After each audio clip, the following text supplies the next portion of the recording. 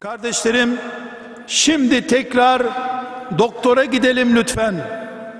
Ve doktor bize senin damarın tıkanmış sağlığına önem ver.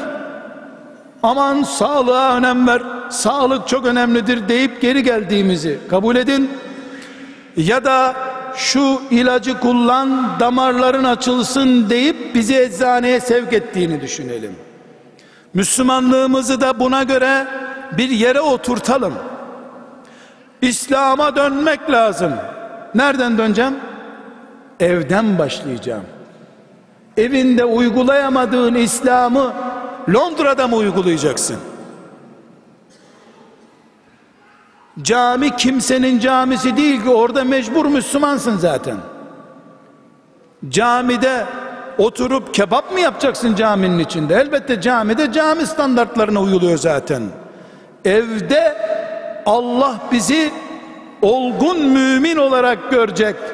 Evlerimizi de Peygamber aleyhisselamdan her gün bir hadis dinleyerek en azından haftada iki hadis dinleyerek artık İslam'a dönüş evleri haline getireceğiz.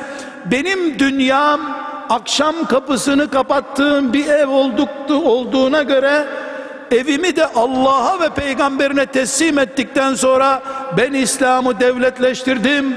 Dünya İslam oldu demektir o zaman.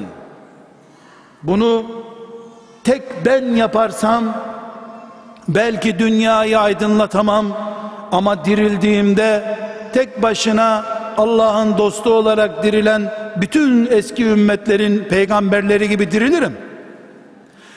Her Müslüman böyle düşünürse zaten dünya İslam oldu demektir.